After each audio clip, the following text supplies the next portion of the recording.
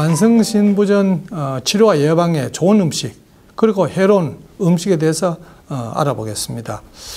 어, 고기, 생선, 계란, 우유는 몸 다른 곳에도 해를 끼치지만 신장에 특히 많은 해를 끼칩니다.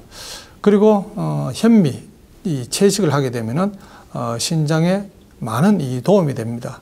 신장이 낫는 경우가 굉장히 많습니다. 어, 고기, 생선, 계란, 우유가 왜 신장에 해가 되는가 하면은 거기에는 어, 신장 어, 만성 신부전의 원인이 되는 도, 이 동맥경화증을 만드는 성분이 들어있기 때문에 어, 그렇습니다. 그 성분이라는 것이 바로 콜레스테롤입니다. 어, 콜레스테롤은 사람이 먹으면 안 되는데 고기, 생선, 계란, 우유에 들어있어서 그걸 먹으면 어, 동맥경화증이 생기고 신장 어, 만성 신부전이 어, 이 생기기 때문에 그렇습니다. 그리고 고기, 생선, 계란, 우유는 이 중성 지방이 많이 들어있습니다. 비계 성분요. 그것 역시 동맥경화증을 만드는 아주 중요한 성분입니다. 성분입니다. 그리고 섬유질이 안 들어있고 항산화 성분이 안 들어있습니다. 이 두 가지 성분은 어, 동맥을 깨끗하게 해주는 어, 그런 어, 성질을 가지고 있는데 불행하게도 고기, 생선, 계란, 우유에는 그것이 안 들어있습니다. 그래서 고기, 생선, 계란, 우유를 먹으면은 만성 신부전이 잘 생기고 또이 치료가 되지 않습니다. 반면에 현미 채식을 하게 되면 만성신부전이 잘 나았습니다. 현미 채식을 하는 것은 백미를 먹지 말고 현미를 먹고 어, 이 채소 반찬을 먹고 또 가, 간식은 과일만 먹는 것입니다.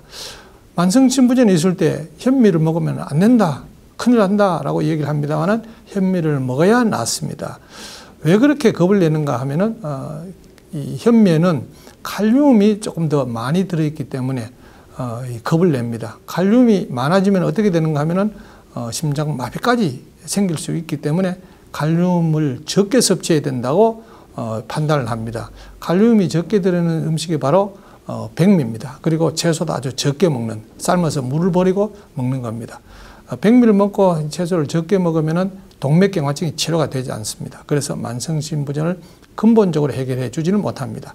칼륨 섭취는 적어서 우선은 좀 안심이 되지만 많은 어, 이 칼륨이 올라가게 되는 근본적인 원인인 만성신부전은 치료가 되지 않아서 계속해서 어, 이 만성신부전 때문에 이제 고생을 하게 됩니다.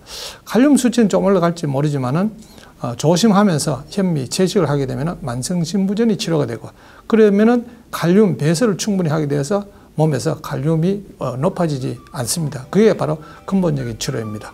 조금 어, 이 주의는 필요하지만은 현미 채식을 어, 하면은 만성신부전에 이 아주 도움이 되는 치료가 되는 그런 식품입니다.